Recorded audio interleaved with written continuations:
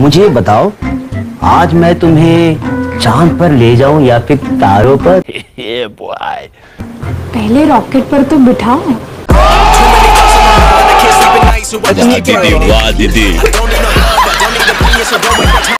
यही नहीं अभी और सुनिए।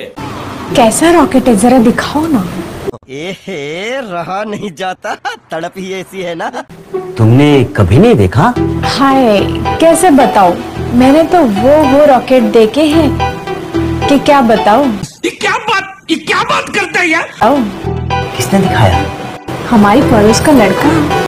साले को बम से उड़ा दूँगा एक बार हाथ में आ जाए तो। कहाँ दिखाया?